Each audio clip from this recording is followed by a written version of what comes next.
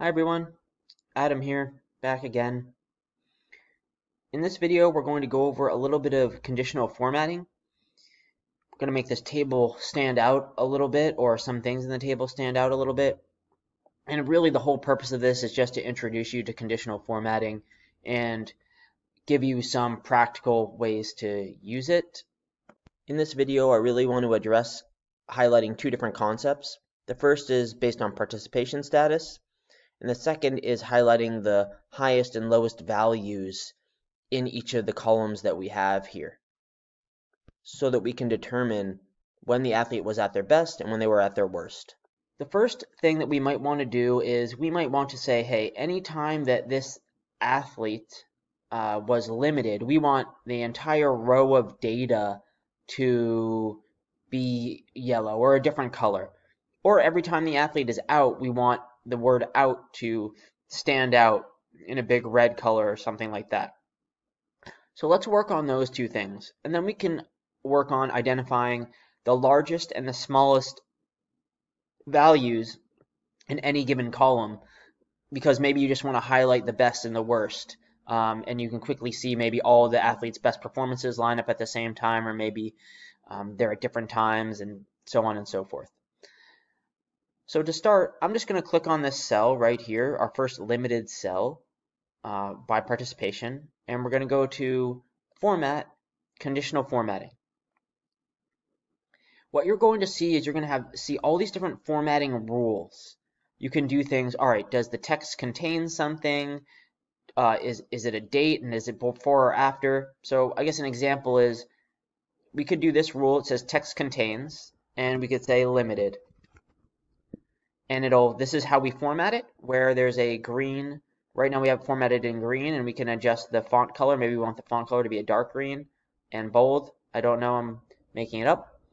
And this is our rule. If the text contains limited then we want it to format this way. And if we click done we can copy this and paste it to these cells. And we'll just paste the conditional formatting only And now we can see that our rule here, our, one of our conditional formatting rules, is applied to this range. So D58 through D, D66, if any of these, whichever of these cells have text that contains the word limited, they will be formatted in this way. So that's an example of a conditional formatting rule. And it might make more sense to say, hey, if someone's limited, we want this to be, you know, we want it to look yellow. Now I'm going to undo this for a second and let's remove this rule. We can do that by clicking on this trash can icon here. And now it's gone. If we want to format an entire row based on what this cell says, we can add another rule and we can choose something different, right? So we can say, oh, if it's greater than, less than, equal to, not equal to, in between. There are a bunch of different options. But for this, we're going to use a custom formula. And we can use formulas that result in true or false to pretty much determine or to use to apply conditional formatting to places. Essentially, if the result of your formula is true, then the conditional formatting will be applied. If the result of your formula is false, it will not be. So here's an example. We're going to say equals if, open parenthesis, one of the things that you aren't going to be able to do is click on cells to put them in the conditional formatting. You're going to have to type it in manually. So if cell, let's say D58 equals, quote, limited, end quote, then, comma, true. So if it's limited, we want the answer to be true. If it's not limited, then we will go comma false, close the parenthesis, and it should work. And if we want to apply this to a range of values, we can say D, let's say we want to apply this to cells A58 through M58. That's the range that we want to apply this rule to, so we'll say M58. And the one thing that we're going to have to do here is lock in the A and the M and lock in the D here. And now it'll apply to the whole row. And if we copy this, or if we just click done, or maybe let's format it first, so maybe it's this light, this, this shade, and maybe it's bold also. Eh, no, we don't need to bold it. And we'll click done. Now let's click back into this. Instead of A58 to M58, we can go A58 to however far, let's say we think that we could potentially have all the way up to row 80 in metrics we can go A58 to M80. And once we've done that, now every row where in column D there is the word limited, the entire row from A through M will be yellow shaded. Now, what if we wanted to do something with out? So I'm going to go into our data set and just change one of these to out for this person. So here's uh, the person that we have, Trey Sung and we'll make this out. That's his new participation status for whatever date that is. If we go back to our um, testing dashboard, here's our out. Well, it doesn't really make sense, right? Because uh, this person has data. Maybe we just want to say if this word is out, then let's make it uh, red. So we can add another rule. And we don't have to do an if statement here. We can just say if the text contains, and we'll just say, quote, out, end quote, equals out. Uh, maybe it's this, this red color. Oops, maybe it's white font with a red background, a dark red background, and bold. And we can apply this to the same range. We can go apply this to D58 colon all the way through D, I believe it was 80 that we went to for our thing. So we'll go D80 and click done. And now if we just enter the word, let's say we enter the word out in here, it'll turn red. If we enter the word limited in here, um, we'll get the whole row turning yellow. So these will apply as more data comes in, and they should adjust based on um, what you want to include and what you don't want to include. So if we just say we want to show the five records, then that'll be okay. And now I just want to format this sheet a little bit. So I'm just going to take everything that we have, go all the way to the bottom of my sheet, horizontally align and vertically align it all just so it's kind of all consistent. Now, what if we wanted to highlight the highest value in any column, uh, a certain color, and we wanted to highlight uh, the lowest value in any column, a certain color? The way that we can do that, again, is with custom formulas. This is, or custom conditional formatting um, with the formula feature. The In Excel, if you're used to Microsoft Excel, conditional formatting is a little bit more dynamic than Google Sheets currently. And you can have a top 10, bottom 10, and things like that. In Google Sheets, that doesn't exist. So you need to use formulas to do that currently. I'm hoping that, because Google Sheets has been accelerating really fast, in terms of its feature additions and its and how how well it works. So I'm hoping that they'll add these features at some point and it's just a waiting game. But for now, I'll show you how to do this. One thing that I just want to mention quickly is that, you know, for me, this might be enough color. I'm, I'm okay. It depends on the information. All of these decisions and what you decide to do depends on the information that's valuable to you and how you want to use it uh, again, like we have a lot of stuff on this dashboard. There's a lot of things going on, a lot of different colors, a lot of. This is not necessarily what I what I would do in in one report or the way that I would do things. The the primary purpose of all of this stuff is to show you how to do what you want to do by offering like substantial flexibility and by giving you a lot of different visualization and interaction options. And that holds true also for conditional formatting. So if we want to format this, we can go to Format, again, Conditional Formatting, and we can already see we have a couple of rules. Let's add, add another one. And we're going to do a custom formula. And we're going to go equals if, if this cell, or if E58 equals max or the maximum, open parenthesis, of E58 colon, let's say E80, because we went, we said, all right, we could potentially have 80 rows of data here, or up to row 80 for, for data, so 58 to 80, I don't, 22-ish. So if E58 is the maximum of all those numbers, comma, true, comma, false. And we can close the parenthesis there, and we can apply this to the range of E58 colon E80. And now uh, we see that we have green all the way going down to row 80. That's not what we want. What we need to do is we just need to lock in the 58 and the 80 range. And now you might be wondering, huh, 223, 223, why are they both not highlighted? And I want to take a moment to address this, which is one of the reasons why I want to do this rule. Let's click Done. And we let's we have two rules here. The order of the rules are the order that they are applied. So first, Google Sheets says, okay, I'm going to check to see if this cell is limited, and if it is, I'm going to put yellow on it. And if that's the case, I don't care about this second rule. And that is the case. So, if we are to, if we want this rule to come first, or we want to check for this rule first, we can drag it and move it up. And now this rule will be applied before this one.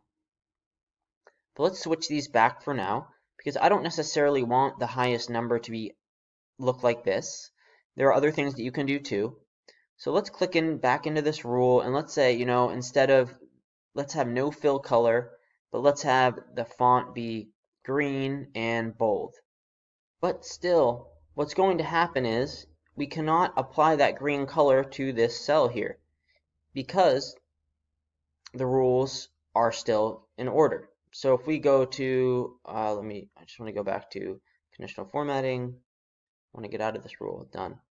If we move this rule up, now our formatting is gone for that cell. When you deal with more complicated rules, I, because you can't really use the editor in here that well, what I like to do is I like to copy the rules that I have and paste them outside. So I copied and pasted the first rule, and I'm going to go into our second rule here that we have, and I'll copy it and paste it. This is a good way to check whether or not you're getting the results that you want to if you want to set up set up your rules outside before you put them inside. And we can try to combine these rules together with an AND statement. So what we can say is we can if E58 equals max of that, but instead we can say if and E58 equals this max, comma, now we can add another expression. And also when, I'm just going to put in G71 for now, and close the parenthesis and click enter. G71 right now is a placeholder for our second expression that we want, which is our second rule. So if we go into this rule and we just copy this, D58 equals limited, we can copy it, go back in here and replace G71 with it, so now we're saying if, if E58 is the maximum of these values and this cell equals limited, we want to format something a given way. And let's click enter. Now what we can do is we can copy this new rule that we have that's a little bit more complicated. And we can add a new rule. And we'll go to our custom formulas and we'll paste what we have. And this time we'll format it with a yellow background and a green bolding of the word. And we'll, again, we'll apply it from E58 colon to E80, I believe. Or it might have been A58 to M80. Let's try E58 to E80. And we'll click done. And let's move this rule up so it checks for both of those things first. Now, we've integrated both of these rules together. So first we're checking if both of those things are true. And then we're checking if, uh, if it's a max value, then we're checking if it's limited. I might do limited then the max value, but it doesn't really matter. So now we've kind of integrated two rules together if we want coloring of a number and um, the background with different rules in place. So that's a pretty complicated rule, but I wanted to go over it just to show you this process of taking rules out, creating them um, on the Google Sheet first, and then pasting them in. If you just wanted, again, to get the negative number, or, or sorry, the lowest number here, we can take this rule that we have for the maximum, and we can change it to the minimum. So we can add a new rule, do a custom formula, and change it. Instead of if E8 equals max, we can say if E8 equals min. What do we want to do? Let's make it, uh, let's make the font color, or no back, no background, font color will be this red and bold it. And we'll apply this again from E58 to E80 and click done. And now we see that we have the lowest value highlighted. So I guess we might as well just go the whole way with this, that, that I'm here, uh, and we've done this.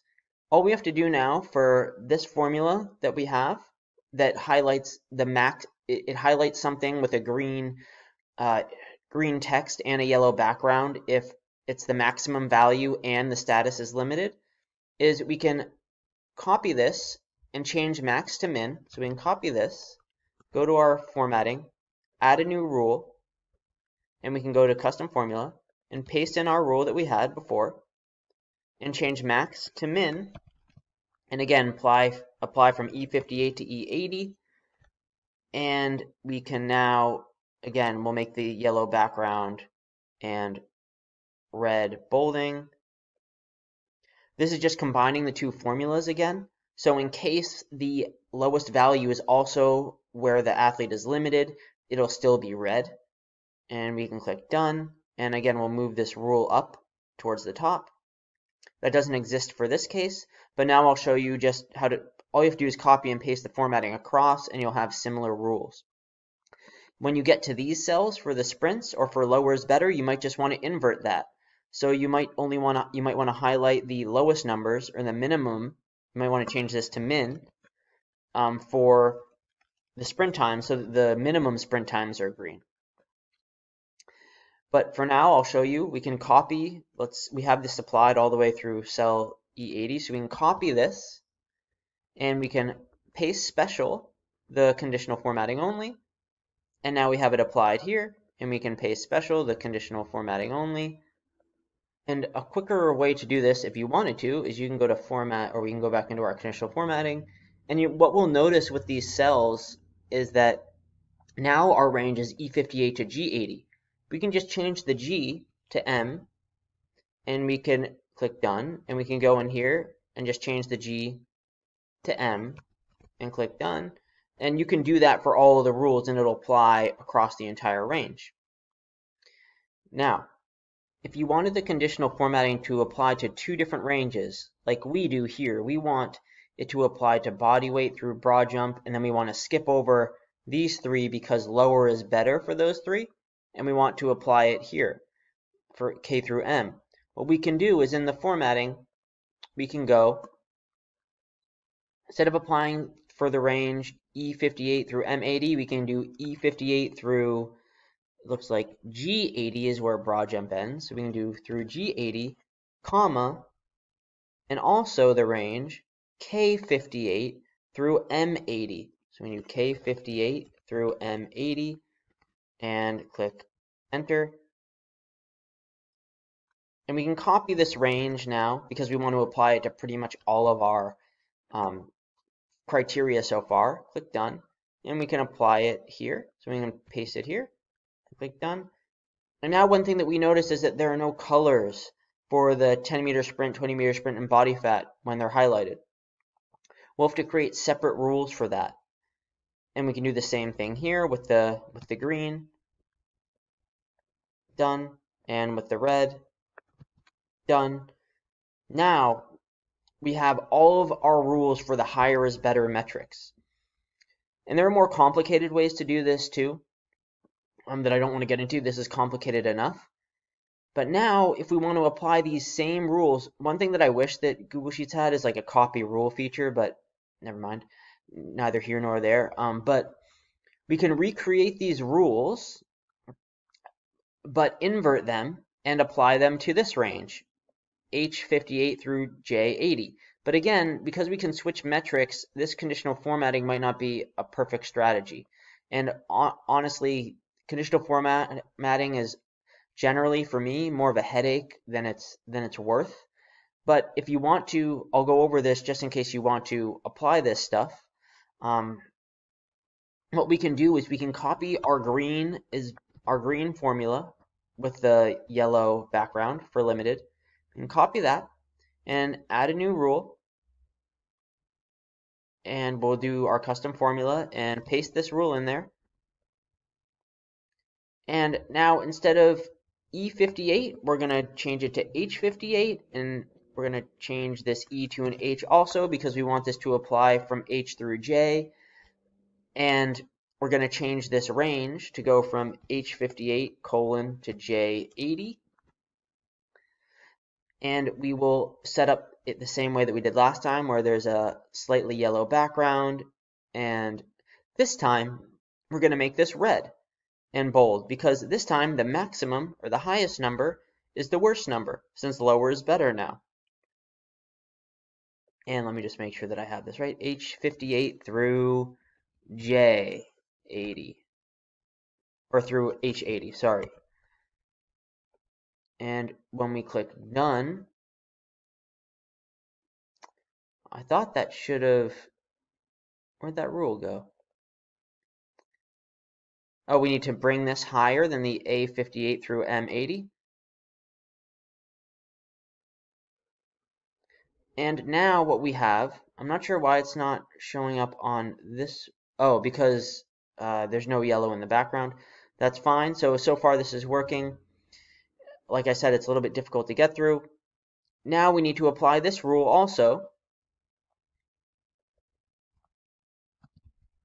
Or let's go yellow, yellow, then um, we'll go yellow, yellow first. So then we'll copy this rule, uh, the, the original red one, and we'll apply that apply that to H through J. So we can go to custom formula, paste it in here, and again, this time we'll change the E's to H's, and we'll change this range to be H58 through J80. And this one, again, yellow background, but this time, instead of red, we're going to have green and bold. And click enter. And now we need to move this rule up above the first yellow one and there. So now we should see like the lowest value that's also yellow will be green. Now we just need to go to the other two rules and duplicate them also. So this, this white background one, we can copy it. And we can go here into our H through J range, which are our lower is better range, add a new rule. We'll go to our custom formula and paste this in here. And again, we're just changing the E's to H's. And because now this, this maximum rule, we're looking for the maximum value still, um, we're going to, because lower is better, we're going to want to make this no background and a red. If we assume this is worse, and we're going to apply this from H58 through J80, and there we see it. We see it got highlighted there. Perfect. Now we can click done. And let's go click on another cell with other with our higher is better rules. And now we'll get the red one or the looking for the minimum. We can copy that formula. Go into our lower is better metrics or somewhere between H and J. And we'll see these rules for those when you highlight the rule you can see what it's being applied to which is nice also. And we're going to add a new one and we're going to go to our custom formula and paste what we have and we'll change the E's to H's. H80 and now because we're looking for a minimum which is a good thing if lower is better we can have no background and green and bold and we'll apply this to the range H58 through J80 and I don't know so what we should see is we should see this this looks like the lowest one for the 10 meter sprint. So that so we click done. Yep, now that turns green and the body fat lowest one will turn green. There are two of them. And perfect. So now we have this dynamic uh, table with some conditional formatting on it. I can remove these these things here. And great. I think that's that's all I got. I might deal a little bit with this.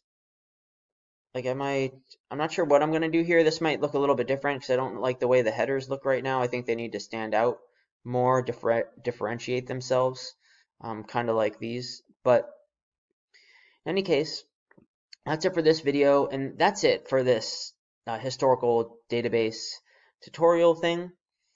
In the next video, though, I'm going to go over some charts or a chart type that I actually learned from um, a colleague, Lorena Torres. She's a brilliant sports scientist, and she showed me a chart, and I really like it.